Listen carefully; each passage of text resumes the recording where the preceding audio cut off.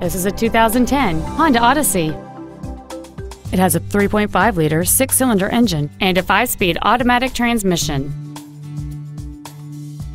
Its top features include heater vents for rear seat passengers, cruise control, steering wheel mounted controls, a six speaker audio system, four wheel independent suspension, aluminum wheels, a rear spoiler, a low tire pressure indicator, heated side view mirrors, and this vehicle has fewer than 21,000 miles on the odometer.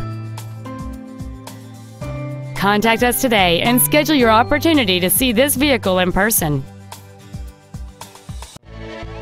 Reynolds Lincoln is dedicated to doing everything possible to ensure that the experience you have selecting your next vehicle is as pleasant as possible.